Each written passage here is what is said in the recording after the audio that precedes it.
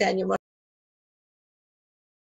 y otro del Ayuntamiento de Gijón y lo vamos a emplear en ayudar sobre todo a enfermos crónicos, clínicas móviles y ayuda a los más que lo necesitan. Nosotros vamos a seguir con nuestra línea de trabajo, no podemos dejarlo. En nuestra organización dependen casi 400.000 personas. Quiero no morirme sin haber visto un poco de justicia, que sea un orgullo haber dedicado la vida para poder hacer algo bueno por personas que realmente que no se merecen lo que les está pasando. No me voy a rendir, se lo debo a mi gente, los quiero muchísimo, creo que son una causa súper justa, eh, son mi familia, son mis amigos, vivo aquí y no les voy a dejar solos.